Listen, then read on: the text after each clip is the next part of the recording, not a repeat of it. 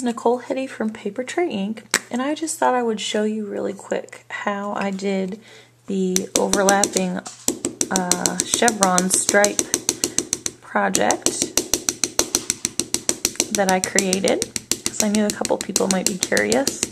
It's really easy.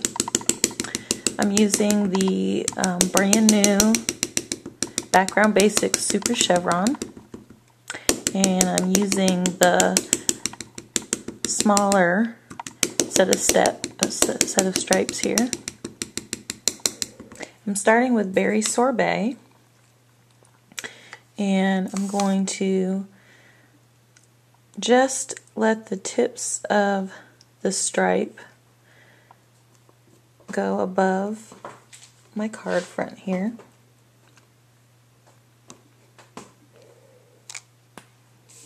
There's my first impression. And when I'm doing a project like this, I will admit I don't particularly care for having to clean my stamp every time, so I just, I work on these big pads of paper here and just stamp off a couple times. I'm moving on to Melonberry. And when you're inking these types of stamps, I find that it's it works best if you do several light taps. Really distributes the ink evenly. So here I'm going with the second impression. And what I'm going to do is I'm at, I could, you can see how wide the stripes are here. I'm going to go up about halfway, overlapping the berry sorbet stripes I just did. And make my impression with the melonberry.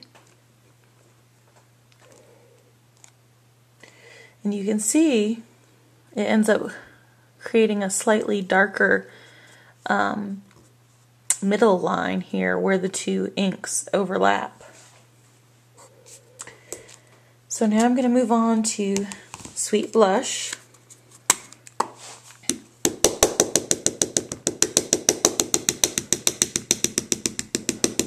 Once again, several taps some good inking.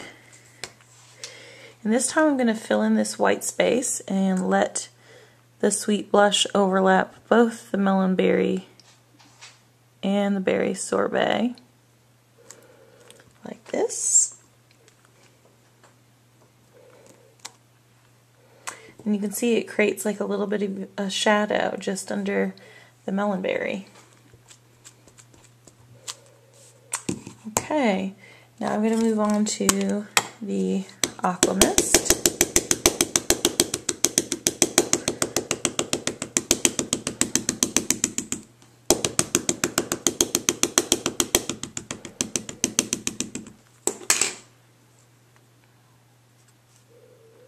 That's going to overlap slightly onto the Sweet Blush.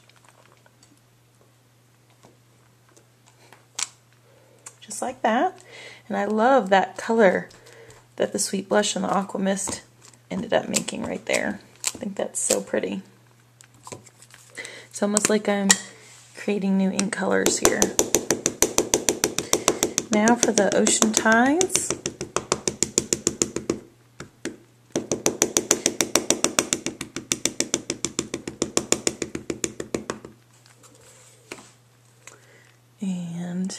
I'm going to pretty much do the same thing that I did above with the um, berry sorbet and melon berry.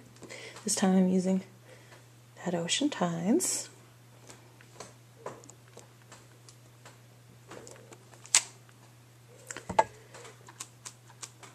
And you can see that the way those, the Aqua Mist and the Ocean Tides layered there just looks so pretty.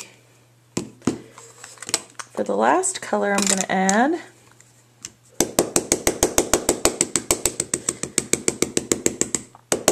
soft stone just for a light gray finish here. And when you're doing this, if you look at all of your points and make sure they're the same distance above the point from your last impression, it will come out perfect just about every time. And you can see just what a pretty ombre effect that gives. Now you'll see I've got some white space left over here at the top because of the way I started. I'm going to snag the melon berry one more time.